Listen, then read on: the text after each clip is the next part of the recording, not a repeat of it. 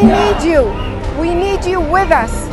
AIPAC, you've supported Israel through all our wars. This is a war for Israel's future. We are in a critical moment now. It's about time that Howard Kohr will raise his voice, not just behind the screen, because we're on the edge. We ask of the representatives from AIPAC here today to tell our Prime Minister that they believe Israel should stay a strong democracy as it is today. You cannot be quiet. Please, please help us.